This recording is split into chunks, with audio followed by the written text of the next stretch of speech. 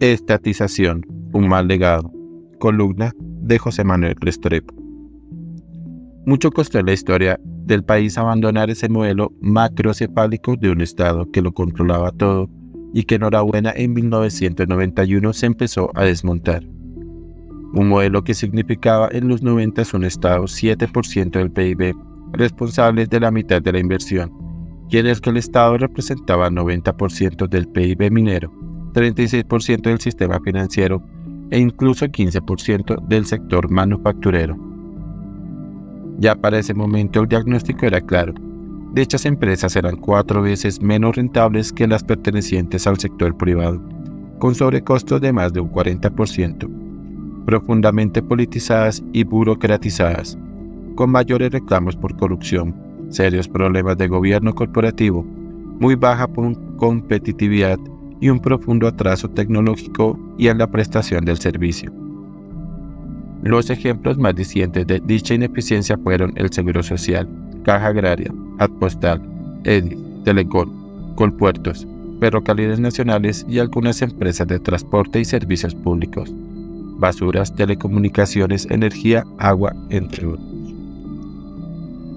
El inicio tímido de que Colombia vuelva en 2024 a este escenario arrancó con las intervenciones en el modelo de servicios públicos y en aquel borrador de decreto de liquidación de presupuesto que atacaba directamente al modelo de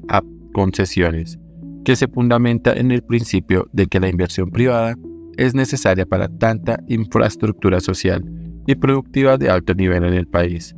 como camino de crecimiento y de acceso a recursos que han sido cerca de 200 billones en Colombia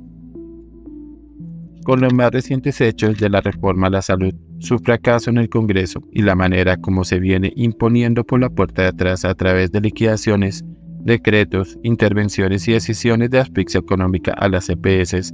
queda absolutamente claro que queremos retornar a ese estado macrocefálico en salud. Pero esto no termina allí. Viene ahora la estatización del modelo pensional, acabando de paso con el ahorro pensional que administra el sistema privado y ya se siente el desinterés con el modelo mixto de educación superior, que desde el sector no oficial aporta el 50% de la calidad de la educación. Se viene además la integración de Copetrol e ISA para monopolizar el mercado eléctrico, retrocediendo los avances logrados con actores privados nacionales e internacionales. Y finalmente estamos advertidos también que poco gustan las vigencias futuras y seguramente